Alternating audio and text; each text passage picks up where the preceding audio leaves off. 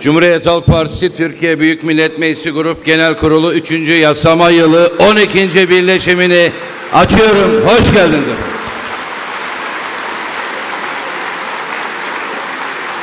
Sayın Genel Başkanım her hafta olduğu gibi Türkiye'nin dört bir yanından konuklarımız var. Dertliler var. Çare aramak için Cumhuriyet Halk Partisi grubundalar.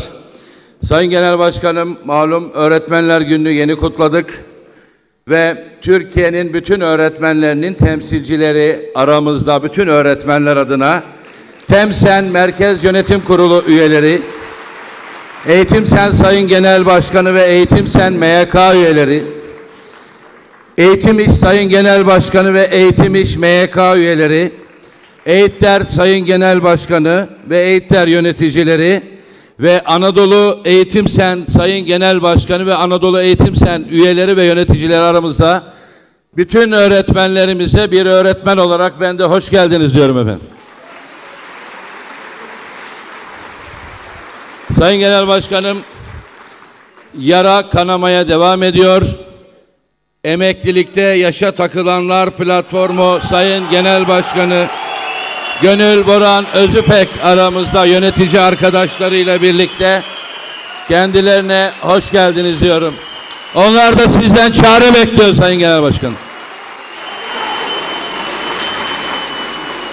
Sayın Genel Başkanım ayrıca Ankara, Bursa, Erzincan, Tokat il başkanlarımız buradalar. Kendilerine hoş geldin diyoruz. Ordu Korgan ilçe başkanımız, Giresun Bulancak ilçe başkanımız, Tokat Turhal ilçe başkanımız aramızda kendilerine hoş geldiniz diyoruz. Çankaya Belediye Başkanımız, Beşiktaş Belediye Başkanımız, Tekirdağ Muratlı Belediye Başkanımız, Eskişehir Tepe Beledi Tepebaşı Belediye Başkanımız, Tokat Almus Kınık Belediye Başkanımız, Tokat Almus Göleli Belediye Başkanımız, Tokat Yol Konak Belediye Başkanlarımız aramızda hoş geldiniz efendim. Denizli Merkez Efendi Gençlik Kolları aramızda hoş geldiniz. Beşiktaş Doğa ve Hayvan Hakları Komisyonu üyeleri aramızda hoş geldiniz. Tokat Niksar Yol Konak Belediye Başkanımız aramızda, Eti Mesut İlçe Örgütümüz aramızda, Kırıkkale Mimarlar Odası Başkanımız, Tekirdağ Muratlı'dan gelen Kıbrıs gazilerimizin sayın eşleri ve kendileri aramızda. Öztüm Güçlü Güvenlik ve Savunma İşçileri Sendikası'nın sayın genel başkanı ve sayın yöneticileri aramızda. Eskişehir Kumlubel mahalle sakinleri aramızda hoş geldiniz. Ankara Sokak Sanatçıları ve Akşam Pazarı esnafı aramızda hoş geldiniz. Çiğli İskent Mahalle Muhtarı ve mahalle sakinleri hoş geldiniz. Tekirdağ Tokatlılar Derneği siz de hoş geldiniz efendim. Ay şekilde Çorlu Tokatlar Derneği ve İstanbul Tokatlılar Gölgeli Dernek Başkan ve yöneticiler aramızda. Hoş geldiniz. İsimlerini sayamadığımız sayın konuklarımızdan özür diliyoruz. Onları da zaten konuk değil ev sahibi sayıyoruz. Haftalık değerlendirmesini yapmak üzere Cumhuriyet Halk Partisi Genel Başkanı Sayın Kemal Kılıçdaroğlu'nu kürsüye davet ediyorum efendim.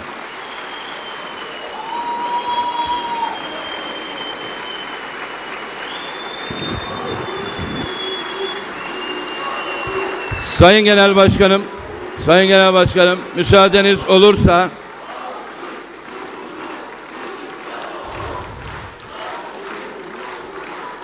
Türkiye'nin kurtuluşu için çarenin siz ve Cumhuriyet Halk Partisi olduğu kanaatine varan Erzincan Arkadaşlar bir dakika. Bir dakika arkadaşlar. Erzincan Çağlayan Belediye Başkanı Sayın Haydar Şahin bugün yüksek takdirinizle Cumhuriyet Halk Partisi ailesinin bir ferdi olarak bundan sonraki çalışmalarını, belediye başkanlığı çalışmalarını yürütecek. Buyurun.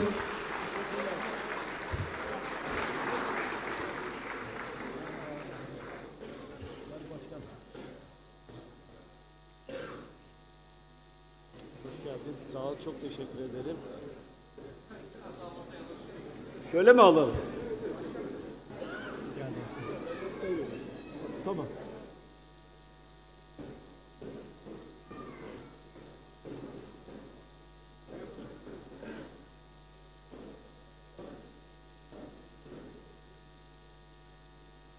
Ben bir takayım. Yok takayım.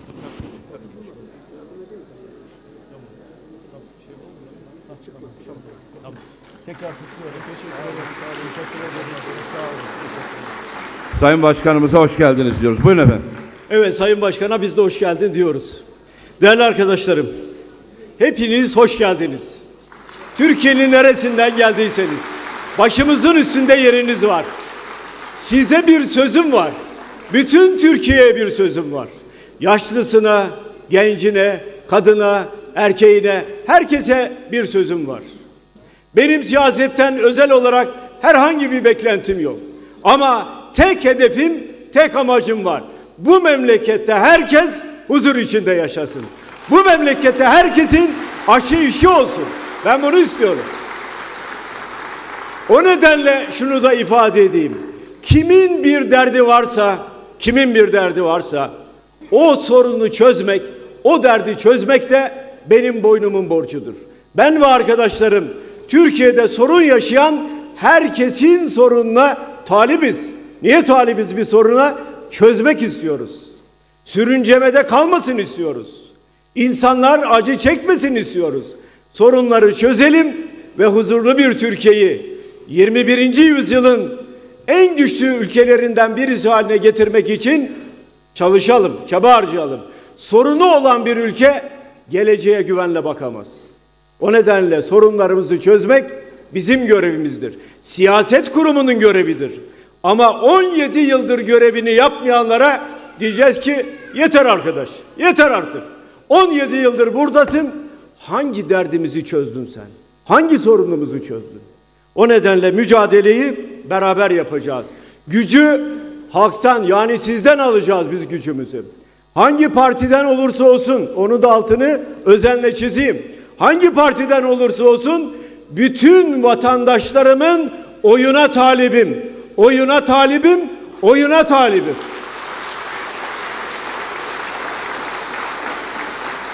Ayrıca şunu da söyleyeyim. Ayrıca şunu da ifade edeyim.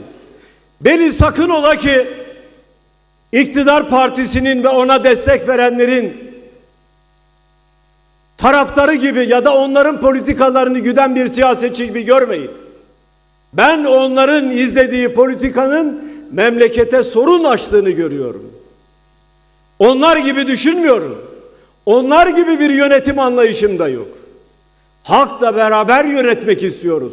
Sivil toplum örgütleriyle beraber yönetmek istiyoruz. Sorunlara sağlıklı teşhis koyup sağlıklı çözümler üretmek istiyoruz. O nedenle ben herkesin oyuna talibim diyorum. Herkesin. Nerede yaşarsa yaşasın, hangi kimlikten, inançtan olursa olsun, yaşam tarzı ne olursa olsun 82 milyonun oyuna talibim. Ben Türkiye'nin bütün sorunlarını CHP ailesi olarak çözmeye kararlıyım ve bunu yapacağım.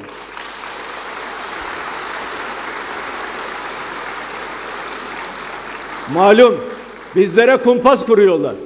İsterseniz Çin Seddi'ni getirin yıkıp geçeceğiz.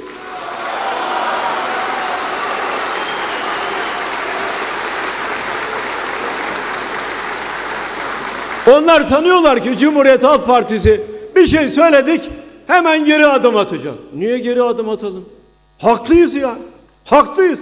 Kumpas kuracaksın, eleştireceksin.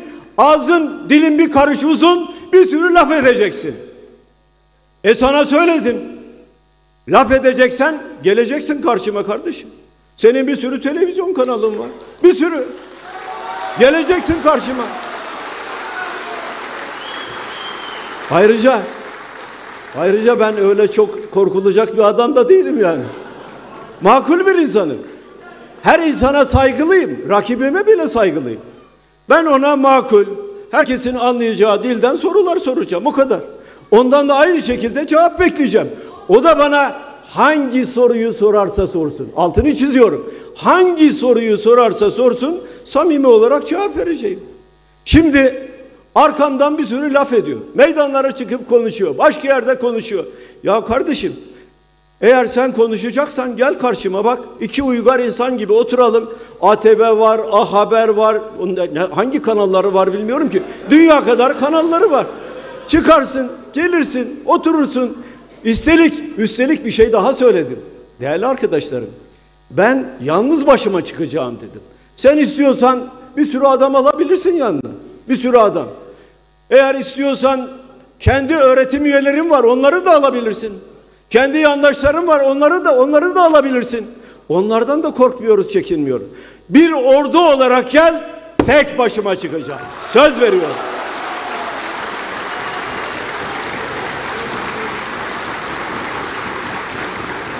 Ve AK Parti'ye oy veren kardeşlerime de sesleniyorum. AK Parti'ye oy veren kardeşlerime de seslenmek istiyorum. Bir partiye kumpas kurmak doğru bir şey değildir. Dedikodu üzerinden siyaset yapmak da doğru bir şey değildir. Sen görevinle, senin görevinle memleketin bu kadar sorunu var. Dünya kadar sorunu var. Dünya kadar derdi var memleketin. Sen o sorunları çözeceğine CHP ile uğraşıyorsun. Niçin bizimle uğraşıyor? Çünkü önündeki en büyük engel olarak bizi görüyor. Sen kim oluyorsun da, sen kim oluyorsun da CHP'yi ağzına bile alıyorsun? Ben bunu bile kabul etmiyorum. Bunu bile kabul etmiyorum. Cumhuriyet Halk Partisi sıradan bir parti değil ki. Dünyanın en eski, en köklü partilerinden birisidir Cumhuriyet Halk Partisi. Cumhuriyet Halk Partisi'ni kuran kadrolar Kuvayi milliyecilerdir. Yani savaş meydanlarından, yani bağımsızlık savaşından çıkıp gelenlerdir.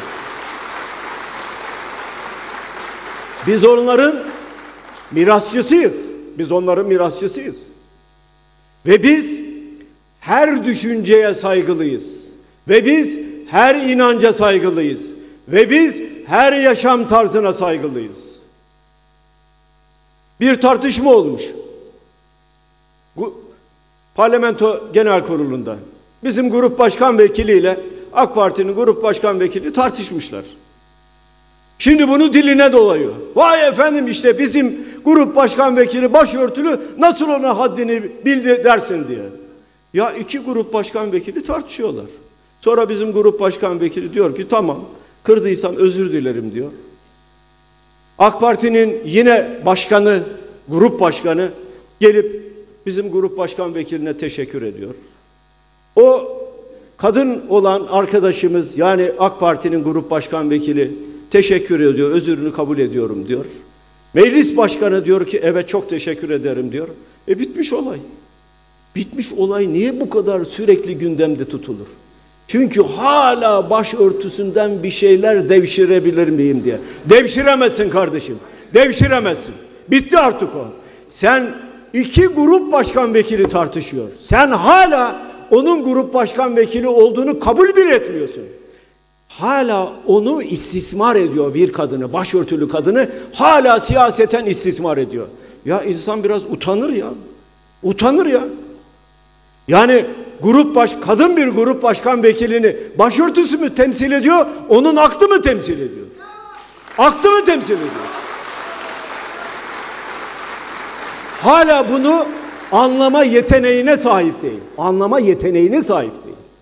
Beni üzen ne? Beni üzen bu. Kadın kadındır kardeşim. Geleceğim biraz sonra. Hepimiz saygı duyacağız kadınlara. Kılığına, kıyafetine saygı duyacağız. O bizim dışımızda bir olaydır. O kadının çocuğu işsizse benim derdim ayrıdır. O kadının evde sorunu varsa derdim ayrıdır. O kadın şiddete maruz kalıyorsa benim derdim ayrıdır. Bunları çözmek lazım. Bunun için mücadele etmek lazım. Kavgaysa bunun için kavga etmek lazım. Değerli arkadaşlarım, bu girişten sonra güzel bir haber. Bugün bütün e, televizyon kanalları, radyolar verdiler. Haluk Bilginer. Gerçekten de hepimizin hepimizin onuru ve gururu oldu. Sinemamızın ve tiyatromuzun en önemli aktörlerinden birisi 47. Uluslararası Emmy ödüllerinde en iyi erkek oyuncu ödülünü aldı. Hepimizi gururlandırdı, onurlandırdı. Bir diziyle aldı bunu, şahsiyet dizisiyle. Gerçekten de bu dizide, bu diziyi yapan yapımcıları, orada rol alan oyuncuları, kameramanı, teknik kadrosunu aşağı yukarı kim bu dizinin çekimine katkı vermişse hepsine yürekten teşekkür ediyoruz. Türkiye'yi daha iyi uluslararası alanda tanıttıkları için. Dolayısıyla Haluk Bilginer'i tekrar yürekten kutluyorum. Emeklilikte yaşa takılanlar aramızda.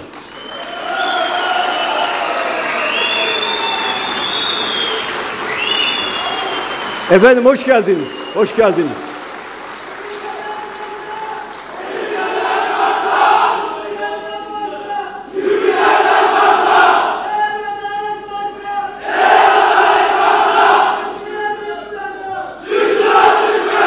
Teşekkür ederim arkadaşlar.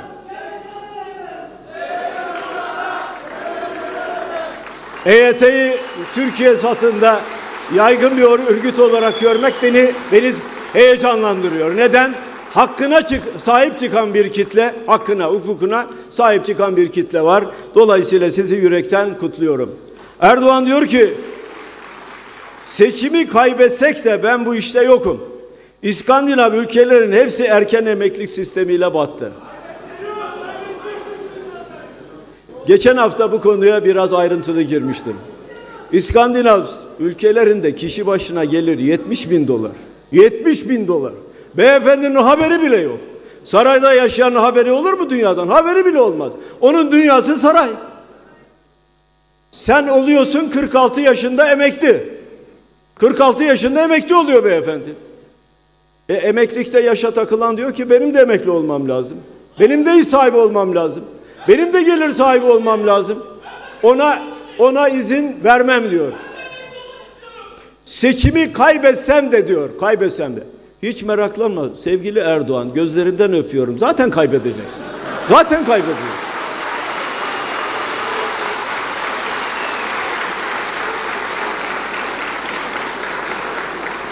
Kaybetmekten söz etmesi de başlı başına bir olay. Düne kadar bu kelimeyi ağzına bile almazdı. O da görüyor ki artık Abbas yolcu. Gidecek yani. Gidecek. Sizin sorununuzu istişare ile çözeceğiz. Hiç endişe etmeyin. Dedim ya Türkiye'de kimin sorunu varsa o sorunda kilitlenmek, çözmek de bizim görevimizdir. Bakın siz gidiyorsunuz. Özel sektöre gidiyorsunuz iş için. Diyorlar ki vallahi yaşınız geçti. E gidiyorsunuz diyorsunuz ki devlete ben emekli olmak istiyorum. Sen daha çok yaysın diyorlar. Bir şey daha var. Bir şey daha var. Zaten iş bulsanız da çalışmanız yanlış. Niçin? Ne kadar çok çalışır, ne kadar çok prim öderseniz o kadar az emekli maaşı alacaksınız. Yapılan reforma bakın Allah aşkına. Dünyanın her tarafında reform yapılır. Emeklilik yaşı uzatılır. Uzatılan emeklilik yaşı karşılığında insanlar daha fazla prim öder. Daha fazla prim ödediği için de daha yüksek emekli aylığı alır. Ve efendinin yaptığı reform ne? Tersine. Ne kadar çok çalışır, ne kadar çok prim ödersen o kadar az emekli aylığı alacaksın. Allah akıl fikir versin. Allah akıl fikir versin. Ne söyleyeyim? Çözeceğim. Hiç endişe etmeyin. Sizin sorununuzu çözeceğim.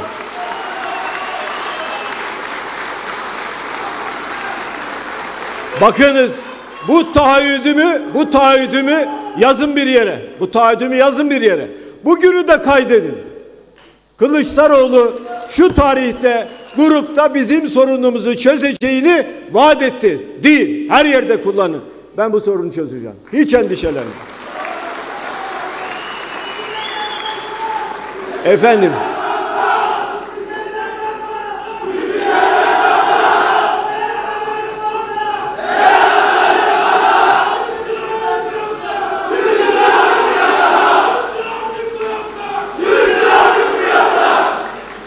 Evet çıkaracağız meraklanmayın. Efendim elmanın kestiğinizde iki yarısı vardır. Bir tarafı kadındır, bir tarafı erkektir. Eşitlik üzerine dayanır. Kadına yönelik şiddete hep beraber karşı çıkmak, çıkmamız lazım. Kadına el kalkmaz diye bir kuralımız vardır. Bir geleneğimiz vardır, bir örfümüz vardır. Kadına yönelik şiddeti asla ve asla kabul etmiyoruz. Asla ve asla.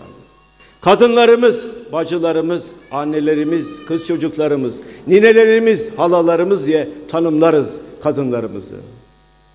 Bunlar saçlarını süpürge edenlerdir. Bunlar sanat dünyasında çalışanlardır. Bunlar sanayide çalışanlardır. Bunlar tarlada çalışanlardır. Bunlar alın teri dökenlerdir. Bunlar aynı zamanda evlerde çalışanlardır. Çocuklarını besleyenlerdir. Dünyanın her tarafındaki sorunlarla ilgilenenlerdir. Kadın dediğiniz sıradan bir kişi değildir kadın. Yaşamıyla, görgüsüyle, eğitimiyle, dünyaya bakışıyla topluma sınıf atlatan kişidir kadın. Bir daha söyleyeyim. Topluma sınıf atlatan kişidir kadın. Çünkü dilimizi anneden öğreniriz. Ana dili.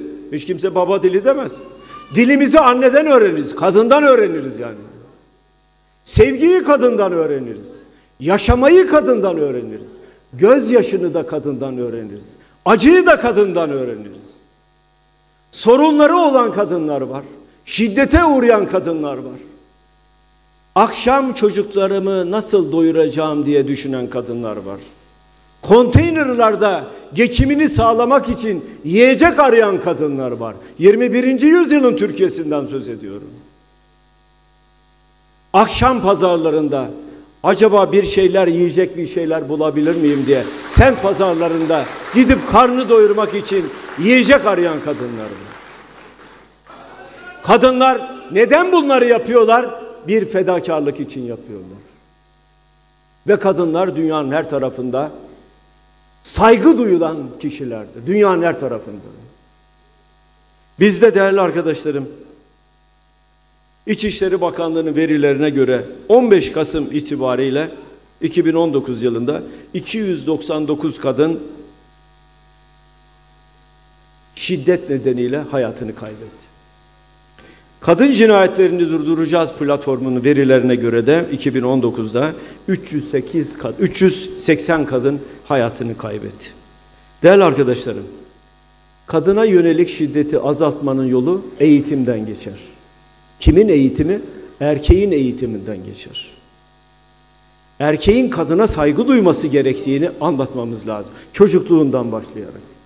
Kadının ne kadar değerli bir varlık olduğunu anlatmamız lazım. Çocukluğundan başlayarak. Toplumun her alanında kadının eşit bir yurttaş olarak çalışması gerektiğini anlatmamız gerekiyor. Kadınların da hakkı hukuku vardır. Çocukların da hakkı hukuku vardır. İnsanların da hakkı hukuku vardır. Kadınlara yeri geldiğinde pozitif ayrımcılık yapmak evrensel bir kuraldır zaten.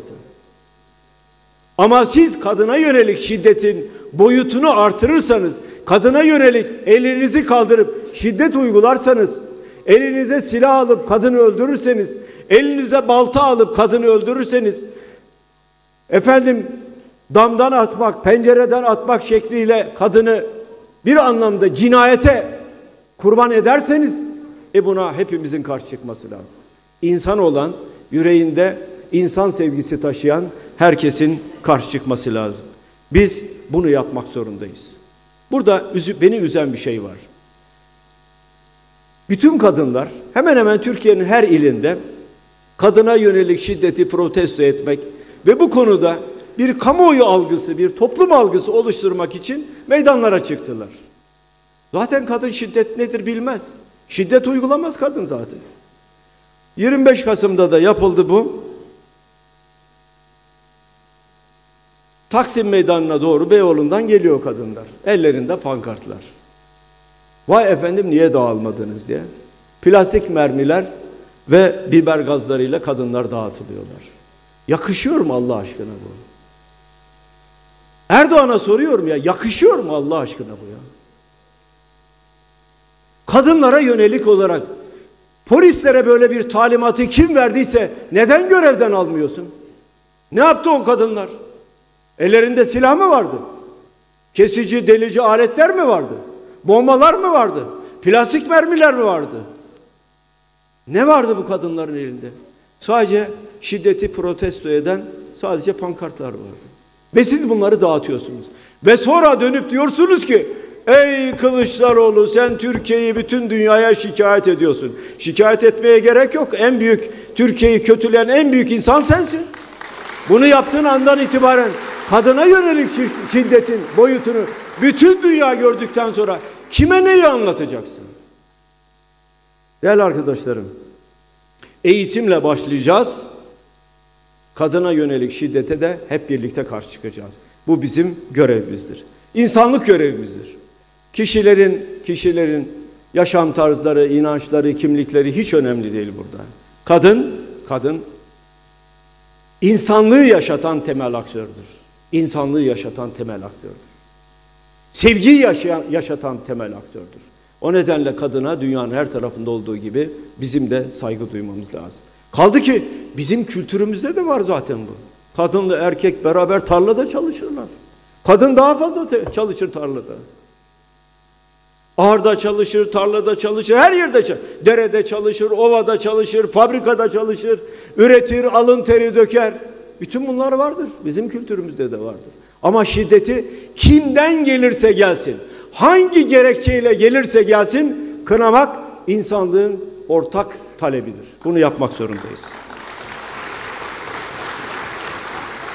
Efendim aramızda öğretmenler de var. Öğretmenlik mesleği dünyanın bütün toplumlarında diğer mesleklerden farklı bir yere sahiptir. Öğretmenliği ayırırlar. Diğer bir sürü meslek vardır ama öğretmenlik çok farklı bir meslek olarak dünyanın bütün toplumlarında kabul edilir. Çünkü öğretmen kişileri eğitir. Onlara dünyayı öğretir. Sevgiyi öğretir. Beraber yaşamayı öğretir. Tartışmayı öğretir. Sorgulamayı öğretir. Yani dünyayı öğretir. Yani kainatı öğretir. Soru sormayı, nasıl soru sorulması gerektiğini öğretir öğretmen. Ve öğretmen bir toplumun, bir bireyin, bir kitlenin, bir ailenin ufkunu açan tek aktördür öğretmen. O nedenle öğretmenlere her zaman her zaman saygı duymak zorundayız. Değerli arkadaşlarım, öğretmenleri dediğim gibi dünyanın bütün toplumlarında farklı yerlere konulur. Öğretmenlerle ilgili çok ama çok güzel sözler de edilmiştir. Örneğin bana bir harf öğretenin 40 yıl kölesi olurum der Hazreti Ali. Yeryüzünün öğretmenlikten daha şerefli bir meslek, yeryüzünde öğretmenlikten daha şerefli bir meslek tanımıyorum der Diyojen. Öğretmen kandile benzer, kendini tüketerek başkalarına ışık verir. Rufini'nin sözü. Milletleri kurtaranlar yalnız ve ancak öğretmenlerdir. Mustafa Kemal Atatürk. Eğitimdir ki Eğitimdir ki bir milleti yahür, bağımsız, şanlı, yüksek bir topluluk halinde yaşatır ya da milleti esaret ve sefalete terk eder. Bu da Gazi Mustafa Kemal'in sözüdür. Çehov'un da bir sözü var. Öğretmenler için kimseye sağlanmayan olanakları yaratmak zorundayız. Bunu da bir an önce yapmalıyız. Çünkü halk her yönden yeterli bir eğitim görmezse devlet yeterince pişirilmemiş tuğlalardan örülen bir ev gibi çöküverir. Öğretmen bir sanatçı gibi işine büyük bir tutkuyla aşık olmalıdır der. Yine Çinli bir ozanın bir yıl sonrasını düşünüyorsan tohum ek, ağaç dik on yıl sonrası ise tasarladığın ama yüz yıl sonrası ise düşündüğün halkı eğit diyor. Eğitenler de öğretmenlerdir. O nedenle irfanı hür, fikri hür ve vicdanı hür nesiller yetiştirmek öğretmenlerin görevidir. Öğretmenlerle ilgili çok güzel laflar ediyoruz. Sadece biz değil tabii. Pek çok düşünür, aydın, sanatçı, öğretmenleri baş tacı ediyor. Ama 21. yüzyılın Türkiye'sinde öğretmenlerin durumu nedir? Bakalım. Bütün toplumlar öğretmenleri çok farklı bir yere koyarken biz neden öğretmenleri sorunlarıyla boğuşan bir kitle halinde bir yerde tutuyoruz? Bu soru sormamız gereken temel bir sorudur. Hep şunu söylemişimdir. Bir toplumu geri bıraktırmak istiyorsanız yapacağınız tek şey var. Eğitim sistemini bozmak. Eğitim sistemini bozduğunuz andan itibaren o toplum geriye gider. Eğitilen toplumların yönettiği bir toplum haline gelirsiniz. Osmanlı'nın batış süreci de böyledir. Eğer okuma yazma oranı 1920'lerdeydi galiba yüzde 10.5 civarındaydı. Yani halkın yüzde 90'ı okuma yazma bilmiyor. Osmanlı niye battı? Eğer öğretmene önem verirseniz, öğretmen toplumu kitleyi eğitirse, onları geleceğe hazırlarsa hiçbir sorunumuz yok. Önce aylıklarından başlayalım. Bir öğretmen bütün enerjisini, bütün çabasını, bütün bilgisini çocuğa veriyorsa mükemmel öğretmendir. Bunu yapması için ne yapmamız lazım? Öğretmeni yaşadığı sorunlardan arındırmamız lazım. Yani öğretmen ay başını nasıl getireceğim diye düşünmemeli. Borcum, taksitim ne oldu diye düşünmemeli. Enerjisini çocuğa vermeli, onu eğitmeli. Bakınız Almanya'da öğretmenin aldığı maaşın biz yüzde otuz beşini veriyoruz kendi öğretmenimize. Hollanda'da yüzde otuz sekizini veriyor. Hollanda'da bir öğretmenin aldığı maaşın yüzde otuz sekizini ancak biz kendi öğretmenimize veriyoruz. Meksika'da orada da öğretmenler aylık alıyorlar. Bizimle eşit düzeyde. Ama bizim öğretmenimiz Meksika'daki öğretmenden yüzde 46 daha az para alıyor. Emeklilere de geleceğim meraklanmayın. Oraya da geleceğim. Dolayısıyla öğretmenlerin maaşı yaşanan enflasyonla da büyük ölçüde eriyor. 2002 yılında 9'un birinde olan bir öğretmen 17 çeyrek altın alabiliyordu. 17 çeyrek aylığıyla 17 çeyrek altın alabiliyordu. Bugün 2019'da bugün ancak 8,5 çeyrek altın alabiliyor. Bu da öğretmenin ne kadar zor koşullarda olduğunu bize gösteriyor. Sadece aylık açısından, geçim açısından değil. Eşit işe eşit ücret diye evrensel bir kural vardır. Uluslararası Çalışma Örgütü'nün kabul ettiği evrensel bir kuraldır. Aynı işi yapanlar aynı ücreti alacaklardır. Dolayısıyla eşit işi yapıyorsak yani bir öğretmen çocuklarımıza ders veriyorsa onu farklı klasmanların içine, sınıfların içine sokmamamız gerekiyor. Bugün bakıyoruz bir kadrolu öğretmenler var. 657 sayılı yasaya tabi. Sayıları 757 bin civarında. Kadrolu öğretmen, devlet memuru çalışıyorlar. En azından iş güvenceleri var. Bir de sözleşmeli öğretmenler var. Bir yıllık sözleşme yapılıyor bunlarla. İş güvenceleri yok. Bunlar daha düşük bir maaş alıyorlar. Daha zor koşullarda görev yapıyorlar. Bunların da hiçbir güvencesi yok. Dolayısıyla bunlara sözleşmeli öğretmen diyoruz. Bunların sayıları 103 bin civarında. Hiçbir mazeret ve iş garantileri bunlar için söz konusu değil. Bir de ücretli öğretmenler var. Kadrolu öğretmen, sözleşmeli öğretmen, ücretli öğretmen var. Ücretli öğretmenler en garibanları.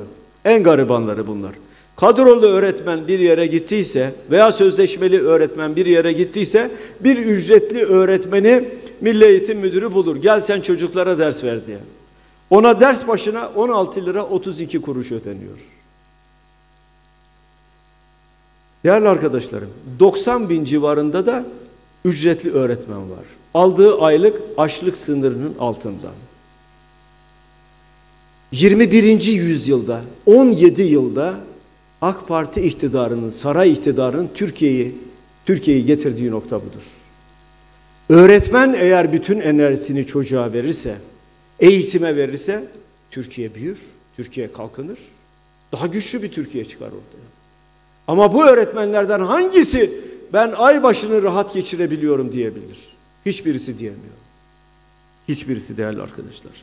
Bir de ataması yapılmayan öğretmenler var. Bunların sayıları da 700 bin. AK Parti iktidara geldiğinde bunların sayıları 68 bindi, şimdi 700 bine çıktı. Bir başka öğretmen grubu daha var. Rehabilitasyon öğretmenleri. 2650 özel rehabilitasyon merkezlerinde bunlar görev yapıyorlar. Bu merkezler açıldığında devlet çocuk başına her ay asgari ücret tutarında bir ücret ödüyordu. Zamlardan, enflasyondan sonra bunlara ödenen parada üçte bir oranda indirim yapıldı. Daha az para ödemeye karar verdiler. Bedeli kim ödüyor? Öğretmen. Niye öğretmen? Değerli arkadaşlarım, bir de KHK'lı öğretmenler var. Bunların sayıları da 35 bini aştı arkadaşlar. Eğitim sisteminden koparıp attınız bir köşeye. Bunlar kanun hükmünde kararnameyle görevlerine son verilen öğretmenler. Şimdi öğretmen arkadaşlarımdan istirham ediyorum. Beni iyi dinlesinler. Bu dertleri benim size anlatmamın çok fazla bir yararı yok. Çünkü siz zaten yaşıyorsunuz. Sorunu yaşayan sizsiniz. Sorunu en iyi bilen sizsiniz. Peki CHP size ne vaat edecek? CHP iktidar olduğunda öğretmenler için ne yapacak? Ben 11 madde halinde bunu size takdim edeceğim. 11 madde halinde. Birincisi şu.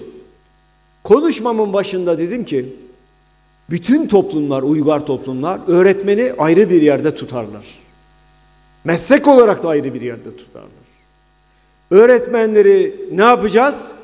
657 sayılı kanundan çıkaracağız. Hakimler, savcılar için nasıl ayrı bir kanun varsa öğretmenler için de bir meslek kanunu çıkaracağız. Ayrı ve bağımsız. Dolayısıyla öğretmenler diyecekler ki bizim hakkımızı ve hukukumuzu garanti altına alan bizim özel bir yasamız var. Birinci yapacağımız şey bu. İkincisi şu. Seçimler öncesinde de seçimler sırasında da öğretmenlere 3600 ek gösterge verilmesini savunmuştuk. Sonra dediler ki biz de vereceğiz. Söz verdiler. İktidar oldular. Saraya gittiler. Sarayda oturuyorlar. Ama 3600 ek göstergeyi unuttular. Öğretmen kardeşlerim, öğretmen arkadaşlarım. Sizi baş tacı yapacak olanlar bizleriz. 3600 ek göstergeyi verecek olanlar da bizleriz. Bunu sakın unutmayın. 3. Her 24 Kasım Öğretmenler Günü'nde öğretmenlere birer aylık ikramiye vereceğiz. Her 24 Kasım'da. Her 24 Kasım'da. Öğretmene verilen para en helal paradır bakın. En helal paradır. 80 milyona yetiyorsunuz. 80 milyonu. Hiçbir kişi de çıkıp öğretmene para vermeyin diyemez. Bakın altını çiziyorum. 82 milyondan hangi partiden, hangi kimlikten, hangi yaşam tarzından, hangi inançtan olursa olsun bir Allah'ın kulu çıkıp öğretmene para vermeyin diyemez. Hepsi eğer verilecekse para öğretmene verilmelidir. Dört, sözleşmeli öğretmen, ücretli öğretmen, kadrolu öğretmen bunları bitiriyoruz. Öğretmen öğretmendir kardeşim. Öğretmenlik meslek kanunu vardır. Herkesin güvencesi vardır. Herkes eşit statüye tabidir. Herkesin aldıkları aylıklar bellidir. Aynı hizmeti yapan eşit işe eşit ücret verilecektir. Bu kadar basit. Bunu yapacağız.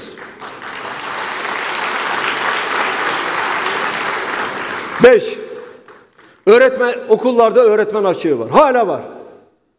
Üç alanda, üç alanda devlet açığı kabul etmez. Üç alanda.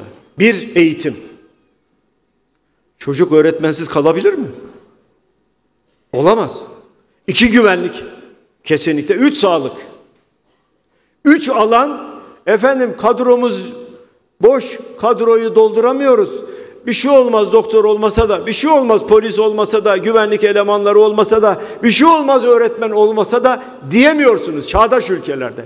Üç alan eğer kadro varsa bütün kadroları dolu dolu olmak zorundadır. Biz bunu yapacağız. Dolayısıyla eğitim konusunda sağlıklı ve tutarlı bir politikamız var. Altı, taşımalı eğitime son vereceğiz. Ne demek taşımalı eğitim ya? Ne demek taşımalı eğitim?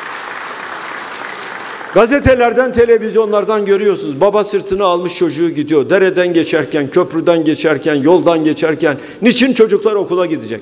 Nerede çocuk varsa orada okul olacak, orada da öğretmen olacak. Bu kadar basit. Neden öğretmen oraya gitmesin? Öğretmen Türkiye coğrafyasına ne kadar çok dağılırsa aydınlanma da o kadar hızlı olur. Aydınlanma da o kadar hızlı olur. Çünkü öğretmen elinde meşale tutup toplumu aydınlatan kişidir. Bir meşaleyle toplumu aydınlatan kişiye biz öğretmen diyoruz zaten. Ufkumuzu açan kişidir öğretmen. Taşımalı eğitim mi olur?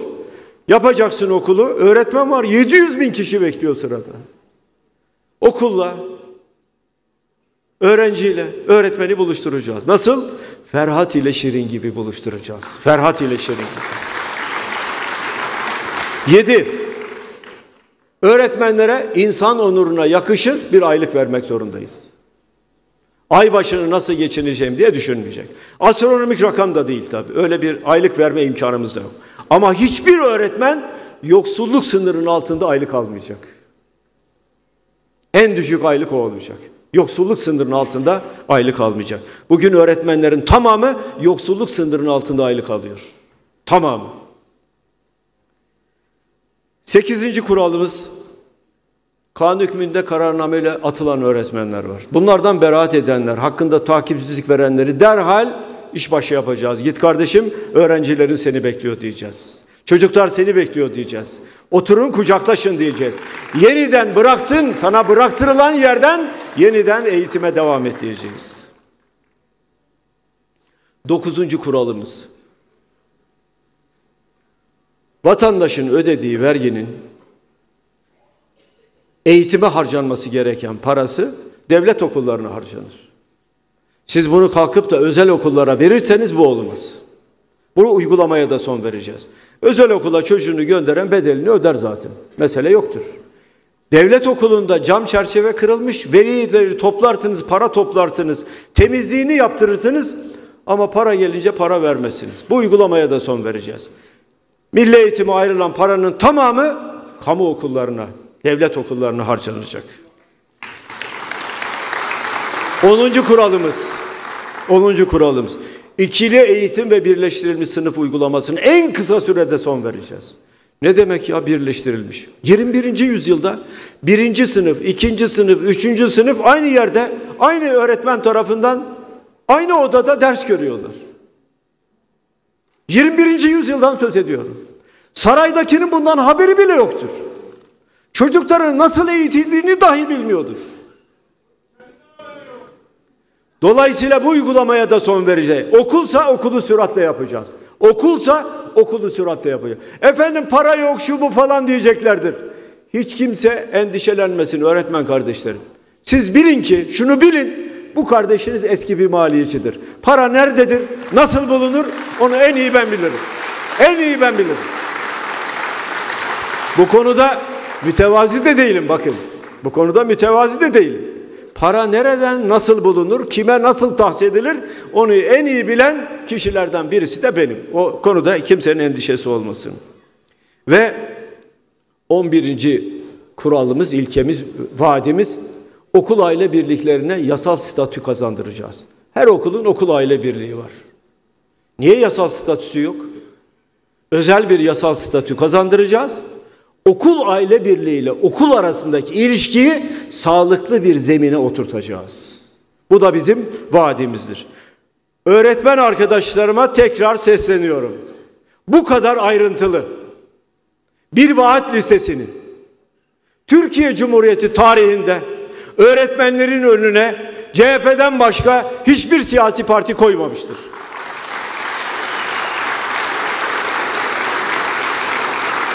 Konuşmamın başında ne demiştim? Sizin sorunlarınızı en iyi bilen ve en sağlıklı çözümler üreten bir partiyiz.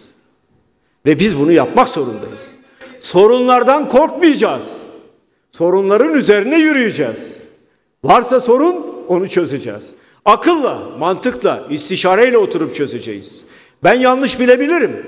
Yanlış bir çözümüm de olabilir. Ama oturup konuştuğumuz zaman bütün bu yanlışları gidermek ve doğruları yakalama şansımız olur. Değerli arkadaşlarım, toplumun her kesiminin sorunu var. Bunu ben de biliyorum, siz de biliyorsunuz. Az önce şiddete maruz kalan kadınlardan söz ettik, öğretmenlerimizden söz ettik. Ee, güzel bir haber olan, e, bir uluslararası ödül alan bir e, sanatçımızdan e, söz ettik, Sayın Bilginer'den söz ettik. Toplumun belli kesimlerindeki sorunlar giderek ağırlaşıyor. Bunlardan birisi de çiftçiler. Şimdi üçüncü Tarım ve Orman Şurası yapılmış. Nerede? Sarayda yapılmış. Çiftçi kardeşlerim beni çok iyi dinlesinler. Hangi partiden olursa olsun beni çok iyi dinlesinler. Şöyle diyor Erdoğan 3. Tarım Şurası'nda. CHP Genel Başkanı'nın sürekli istismar ettiği buğday konusunda göreve geldiğimizde üretimimiz iç talebi dahi karşılayamazken şimdi yüzde 112 gibi çok büyük bir oran yakaladık. Fakat bunlardan anlamaz. Yani ben bunlardan anlamam. Buğdayı göster tanımaz. Böyle bir durum var. Ben buğdayı çok iyi tanırım da vallahi de senin tanıyacağın konusunda benim endişem var. Çünkü ben ekmeği yiyorum zaten. Buğdayı da biliyorum. Ama sen badem unuyla besleniyorsun kardeş. Badem unuyla beslenen bir adam buğdayı tanımaz. Ben buğdayı da bilirim, çiftçiyi de bilirim. Bir şey daha var. Bir şey daha var. Kendi toprağına, kendi halkına, kendi vatandaşına o kadar yabancılaşmış ki toprağa basarken bile galoş çizme giyiyor. Ayakkabın kirlenmesin diye. Ayakkabın kirlenmesin diye. Kalkmış bana bir de diyor ki sen buğdayı tanımasın bilmesin. Sen buğdayı çoktan unuttun kardeşim. Senin aklında buğday yok zaten. Ne vardı? Badem unu. Sen badem unuyla bes- besleniyorsun. Pastalar badem unuyla. Senin bildiğimiz buğday unuyla yakından uzaktan bilgin kalmadı. Ve vatandaşa yanlış bilgi veriyor. Ama ben yine bu devletin namuslu bürokratların ürettiği rakamlarla kendisine cevap vereyim.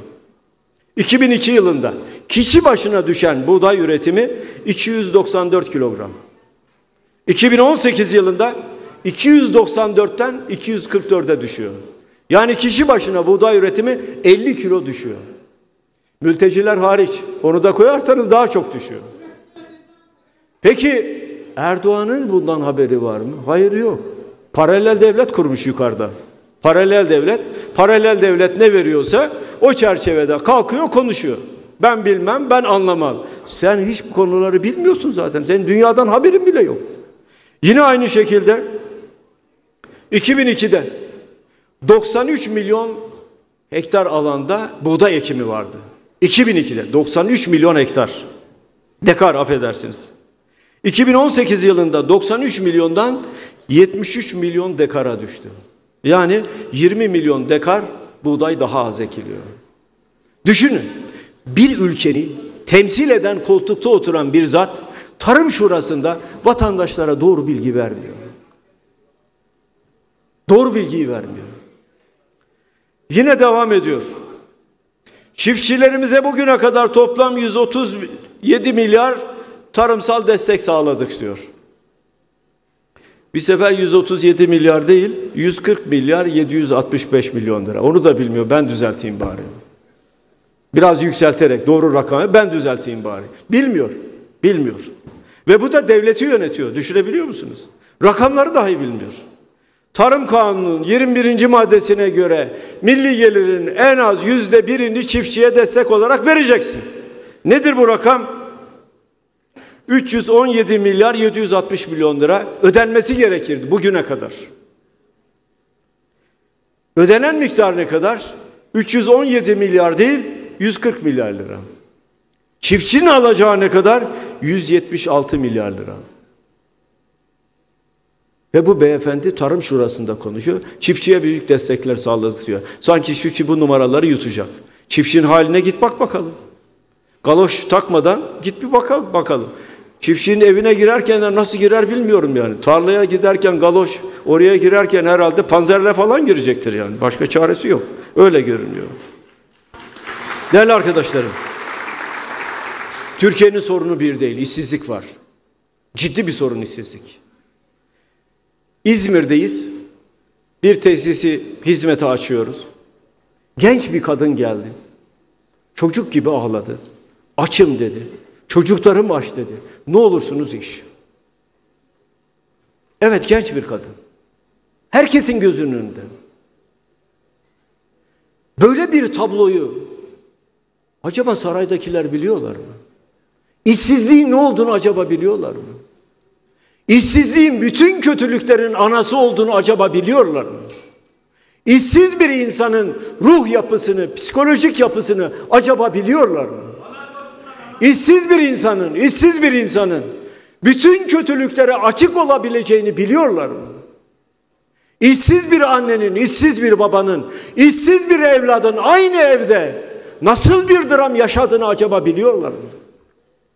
İşsiz bir babanın çocuğuna, okula giden çocuğuna harçlık veremediğini, bu acının bir babanın ruh halinde nasıl bir deprem yarattığını acaba biliyorlar mı?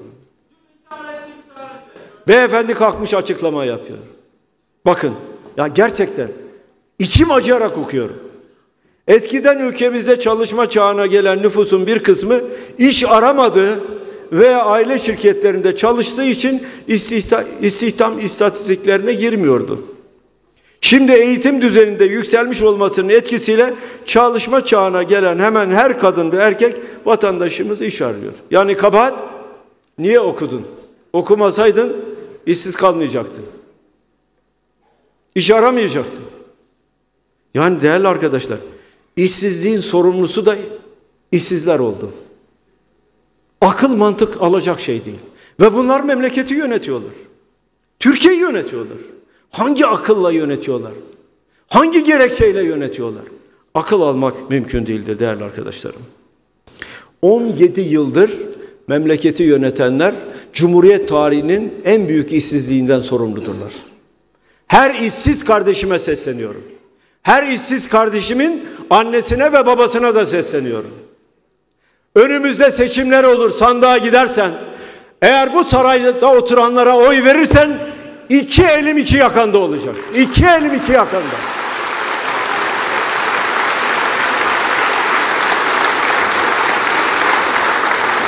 Ben senin çocuğunun, kızının, evladının hakkını, hukukunu koruyorum. Sen gideceksin onlara oy vereceksin. Sonra diyeceksin bana iş. Beyefendilerin keyfi yerinde. Beyefendilerin keyfi yerinde. Orada işsizlik diye bir şey yok. Herkesin keyfi yerinde. Paralar gırla. Onlar Türk lirasını da unuttular zaten. Hepsinin cebi dolar dolu. İşsizlik e senin çocuğun için. Buna buna hepimizin isyan etmesi lazım. Önümüze Aralık geliyor. Asgari ücret belirlenecek. Değerli arkadaşlarım, anayasanın 55. maddesini okuyayım. Ücret emeğin karşılığıdır. Ücret emeğin karşılığı. Yani alın terinin karşılığıdır. Devlet çalışanların yaptıkları işe uygun adaletli bir ücret elde etmeleri ve diğer sosyal yardımlardan yararlanmaları için gerekli tedbirleri alır. Diyor. Bunlar şimdi vergiye, cezaya, harçlara ne kadar zam yaptılar? Yüzde 22.58. Demek ki önümüzdeki süreçte asgari ücret görüşmeleri olurken en az yüzde 22.58 asgari ücrete zam yapmaları lazım. Yeter mi? Hayır. Refahtan da bir miktar pay vermeleri lazım. Ben bunun takipçisi olacağım. Türk işi, hak işi ve diski de takipçi olmaları için davet ediyorum. Onlar da takipçisi olsunlar. Yüzde 22.58 her şeye zam yapacaksın devlet olarak. Enflasyon budur. Yeniden değerleme katsayısı bu olacak diyeceksin. O zaman aynı oranı artı refah payını asgari ücret içinde uygulayacaksın. İşsizlik nedir biliyor musunuz arkadaşlar? Gerçekten felakettir. Havuz medyası dahil medyanın pek çok kısmı işte bu kumpas işiyle uğraşırken Evrensel Gazetesi güzel bir haber yaptı arkadaşlar. Belediyeden iş istedi, kolu kırıldı. Erzurum'dan Büyükşehir Belediyesi'ne gidiyor. Gidenler Hanifi Zengin ve Emircan Zengin. Halk günü var belediyede. Belediye başkanı herkesi dinleyecek. Anlatıyor şimdi okuyalım. Belediye Başkanı Mehmet Sekmen'e derdimizi anlatıp bir iş istemek için gittik. Kardeşim hasta. Kemoterapi tedavisi görüyor ve yaşadığımız evde onun sağlığı için hiç müsait değil. Müsait değil. Bundan dolayı daha iyi bir ev ortamında yaşaması gerekiyor. Ben de bunun için belediyeye iş istemeye gittim. Tam içeri girerken güvenlikçiler bizim içeri girmemizin yasak olduğunu söylediler. Kardeşim de biz içeri girip Mehmet Sekmen'e derdimizi anlatmamız gerekiyor dedi. Tam o sırada bir güvenlikçi kardeşimin üzerine yürüyerek annemin gözü önünde hakaret etmeye başladı. Sonra bizi dışarı attı vesaire sonunda kolunu kırıyorlar değerli arkadaşlarım. İş istemeye gidiyorsunuz. Kime? Belediye başkanına gidiyorsunuz. Nasıl bir muamele oluyor? Kolunuzu kırıyorlar. Güvenlikçiler dövüyorlar. Kapının önüne koyuyorlar. Niçin iş istiyor? Kardeşim kemoterapi tedavisi görüyor diyor. Kanser hastası yani. Oturduğumuz evde bu çocuk için uygun bir ev değil. Bunu söylüyor. Şimdi düşünün. Böyle bir olay bir CHP'li belediyede olsaydı. Bütün havuz medyası, bütün televizyon kanalları günün 24 saatinde bunu verirlerdi. Günün 24 saatinde. Peki ya şimdi? Şimdi kim veriyor? Vermiyorlar. Veremiyorlar. Televizyon kanalları oturdular CHP'yi günler günü tartıştılar. Nerede bir adam buldularsa gelin kardeşim. CHP'yi tartışacağız. Tartıştığında ne oldu? CHP kapı gibi duruyor zaten burada. Ne oldu yani CHP'yi tartıştığında?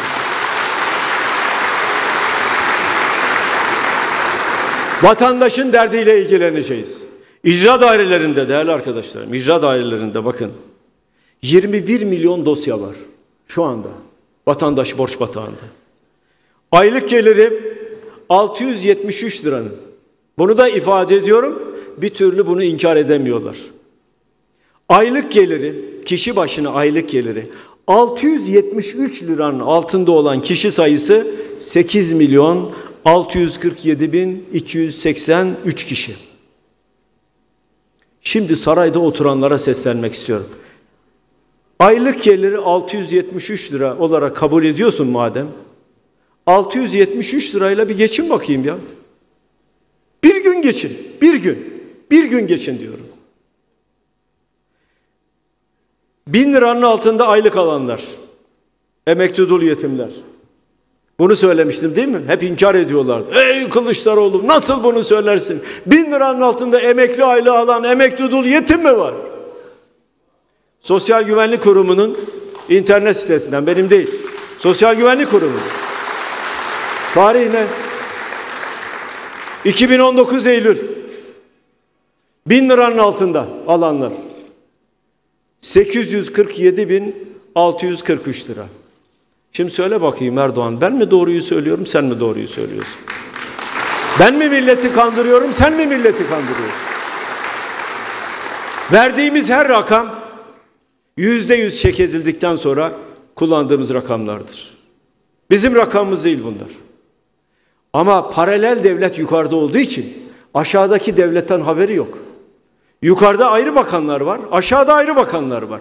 Yukarıda ayrı genel müdürler var, aşağıda ayrı genel müdürler var.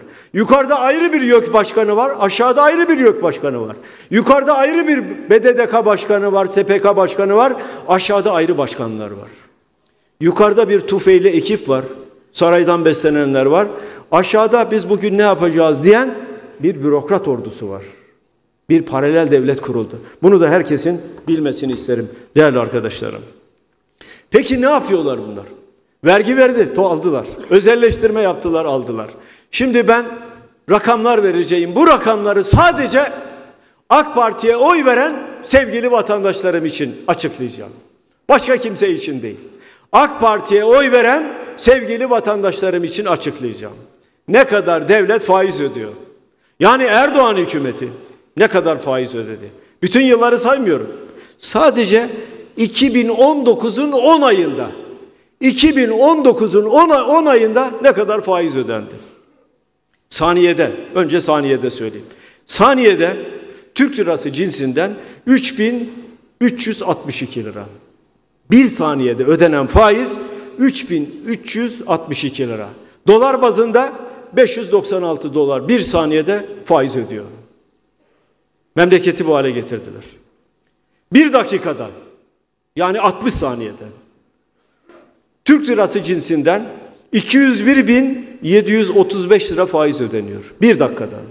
Dolar bazında 35.768 dolar faiz ödeniyor. 60 saniyede. Bir saatte ödenen faiz. 2019'un ilk 10 ayındaki faiz. Bir saatte ödenen faiz. 12 milyon 104 bin 140 lira. Dolar bazında 2 milyon 146 bin 124 dolar faiz ödeniyor. Evet bir saatte yani 60 dakikada ödenen faiz 2 milyon 146 bin 124 dolar. Bir günde ödenen faiz. 290 milyon 499 bin 365 lira Türk lirası. Dolar bazında 51 milyon 506 bin 979 dolar bir günde faiz ödüyor Türkiye Cumhuriyeti hazinesi. Ayda ödenen faiz 8 milyar 714 milyon 980 bin 800 lira Türk lirası. Dolar bazında bir ayda ödenen faiz yani 30 günde 1 milyar 545 milyon 209 bin 370 dolar faiz ödeniyor. AK Parti'ye oy veren kardeşlerim bu rakamları hafızaların bir yerinde tutsunlar. Sadece hafızaların bir yerinde değil, vicdanlarının da bir yerinde tutsunlar. Fakir fukaranın parasını nerelere harcandığını görsünler. Bütün bunları bilsinler. Borçlanma Genel Müdürlüğü için kuruldu? Öyle bir borç aldılar ki artık yönetemiyorlar. Ayrı bir genel müdürlük kurdular. Osmanlı'nın son dönemindeki duyunu umumiye gibi. Bir saniyede ya, bir saniyede 3362 lira faiz ödüyorsunuz ya. Bir saniyede. 30 gün çalışan bir asgari ücretli 2020 lira alıyor. 30 gün çalışan bir asgari ücretli 30 gün 2020 lira alıyor. Siz bir saniyede 3362 lira faiz ödüyorsunuz. Memleketi bu hale kim getirdi? Dış güçler mi? Kim getirdi bu hale bu memleketi? Bu borç batağına Türkiye Cumhuriyeti Devleti'ni kim soktu? Defalarca söyledim. Türkiye Cumhuriyeti Devleti'ni Londra'daki bir avuç tefeciye hizmet eder hale getirdiniz dedim, dedim ve diyeceğim. Ve diyeceğim. Yazıktır, günahtır bu memlekete.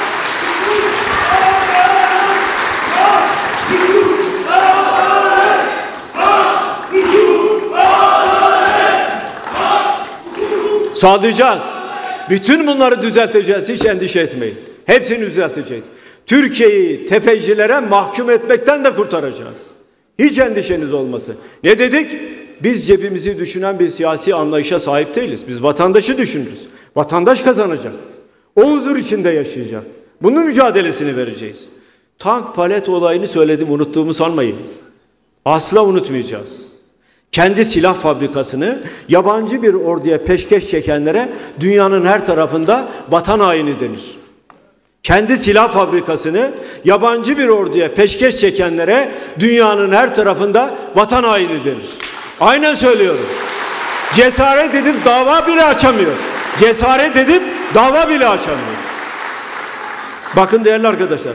Demiş ki efendim Kılıçdaroğlu hakkında tazminat davaları açtım. Hepsini kazandım. Ben senin nasıl kazandığını bilmez miyim?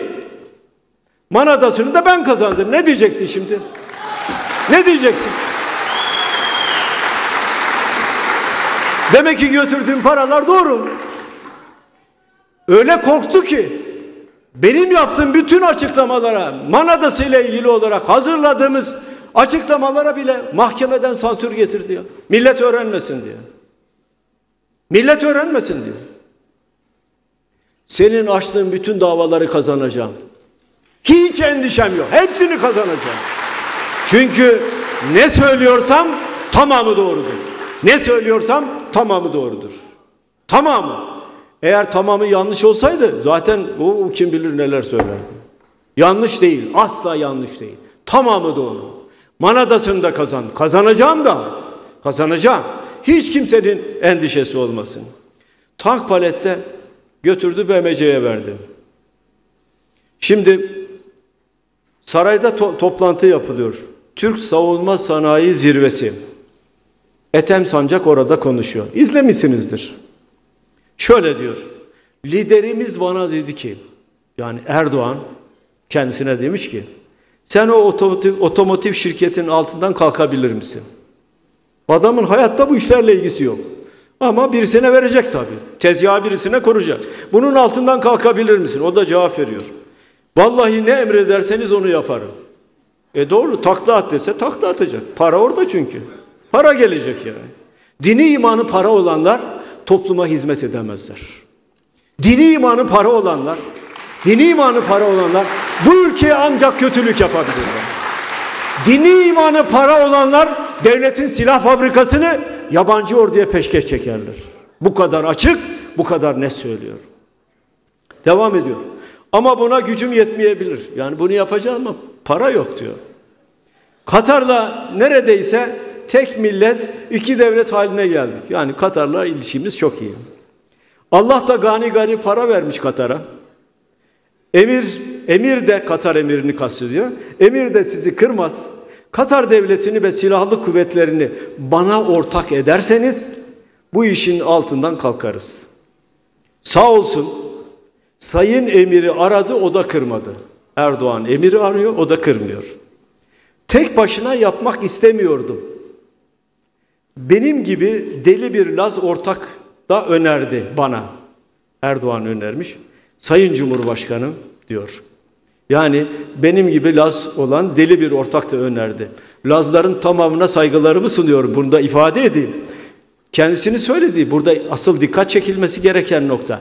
Bir kişiyi Erdoğan'ın bunu yanına alacaksın demesi. Kim? Talip Öztürk. Şimdi saraya soruyorum. Kim bu Talip Öztürk? Bir daha soruyorum. Talip Öztürk kimdir? Ve sen Talip Öztürk'ü niçin önerdin? Devletin silah fabrikasını peşkeş çekerken Talip Öztürk'ü neden Entem, e, Etem Sancağın yanına monte ettin? Kim bu Talip Öztürk? Cevabı gelecek mi? Cevabı gelmezse biz bulacağız tabii. Ama önce onun konuşmasını istiyorum. Her şeye konuşuyor değil mi? Gazeteci arkadaşlara da soruyorum. Talip Öztürk'ün kim olduğunu Erdoğan'a sorsunlar. Kim bu Talip, Talip Öztürk? Ve bu işe monte ediliyor. Tavsiye ediliyor. Bunu da yanına al diyor. Kim bu adam? Katar ordusuna peşkeş çektiniz. Katar ordusu teknoloji konusunda dünyanın sayılı ülkelerinden mi? Yok. Nasıl tank yapacak Katar ordusu? Yok. Kim yapacak? Tank palet fabrikasında çalışan bizim işçilerimiz, bizim mühendislerimiz. Kimin emrine veriyorsun? Katar ordusunun emrine veriyorsun. Ya zaten fabrika bizim. Tank yapacaksak zaten biz yapacağız. İşçiler de zaten bizim. Niye veriyorsun oraya? Bunun cevabı alınmış değil. Plan Bütçe Komisyonu'nda Durmuş Yılmaz, İyi Parti Ankara Milletvekili bu konuyu soruyor. Sayın Hulusi Akar'a soruyor. Katar'ı da soruyor. Katar dediğimiz devlet diyor. Şunun şurasında 1970'li yıllarda kurulmuş 3-4 milyonu olan nüfusu olan bir devlet diyor. Bakanın verdiği cevap çok ilginç. Ya Katar'ı bırakın o ayrı bir konu diyor. Katar'ı bırakmayacağız. Asıl konu o. Asıl konu o. Neden Katar'a bıraktınız siz bunu? Hangi gerekçeyle bıraktınız? Neden Ethem Sancağı bıraktınız? Neydi o adam? Talip Öztürk. Neden bu Talip Öztürk'ü monte ettiniz oraya? Kim bu adam? Kimin yakını bu adam? Kimin akrabası bu adam? Kimin parası bu? Kimin parasını kime veriyorsun? Bunları soracağız. Yine asla unutmayacağımız bir şey daha var. 15 Temmuz şehit ve gazileri için toplanan para nereye gitti? Onu da soracağız. Bunu da soracağız. Bakın değerli arkadaşlarım. Konuyu Murat Emir arkadaşımız bütün ayrıntılarıyla inceliyor. Biz hep dedik ki bu adres nerede? Mahkeme kararı var. Mahkeme kararında bir adres vermiş. Gidildi adrese. Öyle bir şey yok orada. Yani öyle bir vakıf yok. Öyle bir vakfın olması da mümkün değil.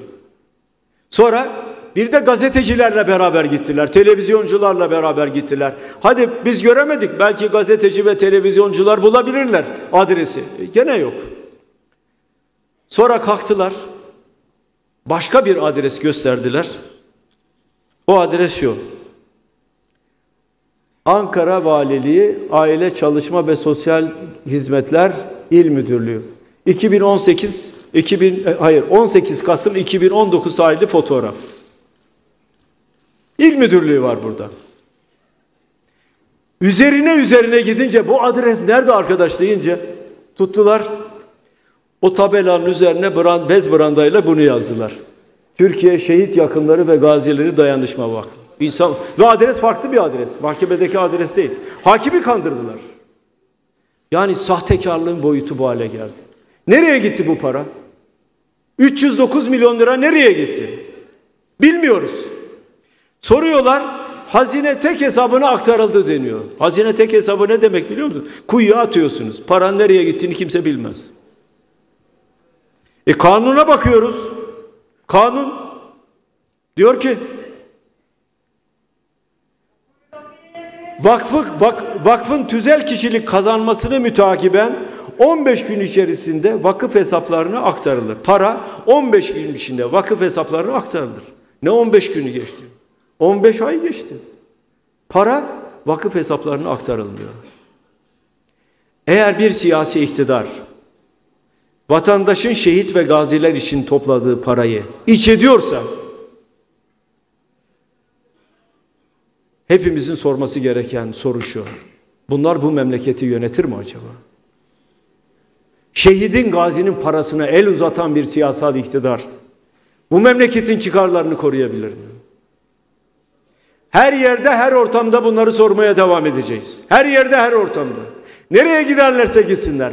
Tank palet, şehit ve gaziler için toplanan para ne oldu diyeceğiz. Ve soracağız. Kendi ordusunu, bakın kendi silah fabrikasını yabancı bir orduya peşkeş çekenleri adı, ünvanı vatan hainidir. Dünyanın her tarafında böyledir. Her tarafında böyledir.